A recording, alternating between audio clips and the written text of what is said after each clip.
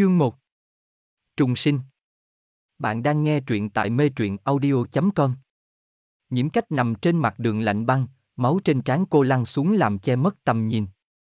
Cô nhìn mặt vô kỳ đang ôm từ uyển ở đằng xa, trên mặt hắn là sự lạnh lùng xa cách. Còn từ uyển lại rất khinh thường cười trước kẻ thua cuộc như cô.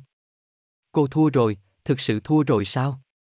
Không, nhiễm cách còn nhớ, trước khi chết đã có ai đó ôm cô vào lòng và gọi tên cô. Giọng của người đó thật bi thương. Không, cô không muốn chết, nhiễm cách đứng trong mưa, bộ đồ công sở ông sát lấy thân hình đầy đặn, mê người của cô. Nước mưa theo đường cong của cô mà chảy dọc xuống. Trước mặt cô là một đôi nam nữ. Người đàn ông chính là Mặt Vô Kỳ. Người đã từng thề non hẹn biển với cô, yêu chiều cô hết mực cho đến khi từ uyển. Vị hôn thê của hắn xuất hiện. Bây giờ từ uyển đang mặc chiếc đầm trắng, khuôn mặt nép vào ngực của mặt vô kỳ tỏ vẻ đáng thương nhưng khi nhìn ánh mắt của cô ta chính là sự khinh thường không thể che giấu. Xin lỗi Uyển Uyển. Mặt vô kỳ chán ghét nói. Nhiễm cách hơi thẫn thờ. Cô đang ở đâu vậy? Cô trọng sinh sao? Không thể nào.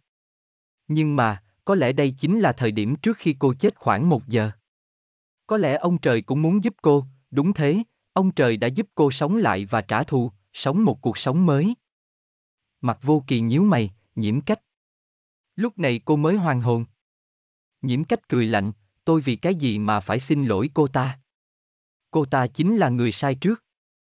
Mặt vô kỳ hơi ngạc nhiên, nhưng vẫn cứng trắng quát. Cô đừng có quá đáng.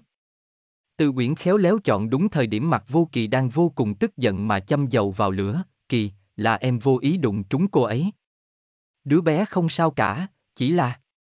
Là... Động hơi mạnh thôi. Nói xong còn dịu dàng xoa xoa lên tay hắn như an ủi. Nghe từ Uyển giải thích, sắc mặt mặt vô kỳ hơi dịu đi, nhưng hắn vẫn lạnh lùng nói, anh thấy cô ta chính là cố ý đụng em. Uyển Uyển, em lương thiện quá rồi. Nhiễm cách nhổ vào. Cô ta mà lương thiện thì chắc cô đã thành thiên sứ rồi. Ây da, tôi cố ý đó, thì sao? Anh làm gì được tôi? Mặt vô kỳ một tay cầm dù, một tay ôm eo từ uyển, hắn nhìn người phụ nữ xinh đẹp, quyến rũ trước mặt. Cô không có dù, vì vậy mưa trút xuống đều ướt cả người cô, nhưng không vì vậy mà vẻ kiêu ngạo mới mẻ của cô mất đi. Nhiễm cách, tôi đã nhìn cô đủ rồi. Mau xin lỗi Uyển Uyển hoặc ngày mai đừng đến công ty nữa. Tim nhiễm cách nhói đau, nhưng cô vẫn lạnh nhạt không biểu hiện bên ngoài mà chỉ là dáng vẻ dường như đang nghe một câu chuyện cười. Ha, thà nghĩ việc ở công ty còn hơn là đâm đầu vào xin lỗi chuyện bản thân không sai để được ở lại. Đó không phải là hành động đút lót đấy chứ. Xin nhắc lại cho mặt tổng nhớ, tôi. Không. Sai, và cũng không xin lỗi. Mặt vô kỳ tức giận quát. Cô. Nhiễm cách, cô sẽ hối hận. Nhiễm cách cười lớn, phải, hối hận vì tôi đã yêu phải một loại cẩu tử như anh. Cô. Trẻ trâu. Nhiễm cách giơ tay nhìn đồng hồ, hiện giờ chiếc xe kia chưa tới nên không thể gây tai nạn. Cô cần một chỗ trú mưa. Nhiễm cách nghĩ vậy liền tìm kiếm xung quanh. Thấy một tiệm cà phê nhỏ, cô liền xoay người bước đi, mặc cho mặt vô kỳ ông từ uyển đang tức giận đứng đó. Nhiễm cách làm sao vậy? Từ đó đến giờ cô ta luôn ôn nhu, hiền lành dễ sai khiến. Làm sao mà thay đổi 180 độ trở thành một người kiêu ngạo thế này mà nhiễm cách cũng không để ý đến ánh mắt soi mói của bọn họ, cô vừa bước vào tiệm đã gọi một ly sữa nóng, người nữ phục vụ còn tốt bụng mang chiếc khăn cho nhiễm cách lau tóc. Cô mỉm cười nhận lấy, cảm ơn.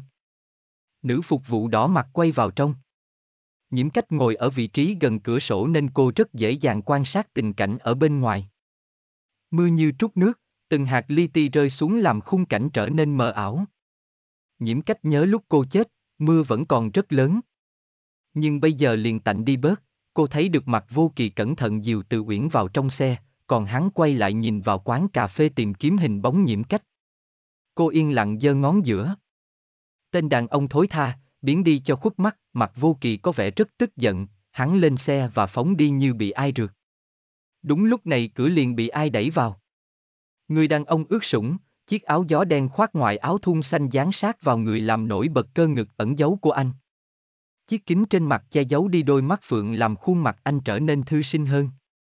Người đàn ông nhìn thấy nhiễm cách đang trùng chiếc khăn lau tóc mình, hai chân vắt chéo, dáng vẻ tự tôn tự tại của cô khiến anh thở phào. May quá, cô ấy không sao, mà lúc này nhiễm cách cũng chú ý đến anh, hoa học trưởng, trùng hợp quá, anh có việc ở đây à? Hoa Nguyệt giả cười nhẹ, ừ. Nhiễm cách vào mái tóc ướt của mình, anh làm việc ở đây. Ừ, không PH. Nhiễm cách cười tươi, may quá, tôi quên mang tiền rồi. Anh có thể cho tôi uống nhờ một ly sữa không? Mà lúc này ly sữa nóng cũng được bưng ra đặt trước mặt cô. Nhiễm cách vô tội nhìn anh. Ngày mai tôi sẽ trả lại tiền. Hoa Nguyệt giả giả vờ cười hiền lành, không sao, em cứ thoải mái, chỉ là chút tiền vặt thôi mà. Anh lén thở dài. Hay, vì nụ cười của người đẹp mà anh đã bán rẻ bản thân, đi vào cái quán tồi tàn này để làm phục vụ sao? Như vậy còn ra thể thống gì nữa? Hoa Nguyệt giả hơi miếm môi, anh xoay người đi vào trong. Lúc anh cầm lấy tạp về đeo lên, bà chủ ngạc nhiên định hỏi liền bị anh nhét vào tay một tấm thẻ. Tôi sẽ làm việc ở đây. Bà chủ vốn không hiểu tại sao nhưng vẫn vui vẻ chấp nhận, có tiền là được rồi. Khi anh bước ra bàn nhiễm cách cùng bộ đồ phục vụ, bà chủ liền hiểu ra, còn trong một góc, một nhóm gồm ba người đàn ông lần lượt phun thức uống trong miệng mà ho sặc sụa. Bốt, bốt làm gì vậy? Ngài ấy. Tôi bị mù rồi sao? Người đàn ông đeo tạp dề đang mỉm cười với cô gái đó là bốt tối cao của bọn họ thật sao?